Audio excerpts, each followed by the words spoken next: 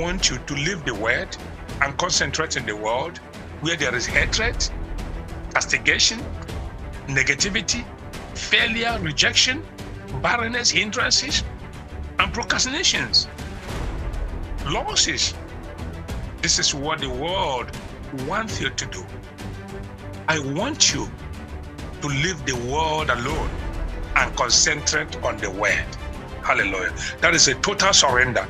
So you have to, from this moment, separate yourself from the world.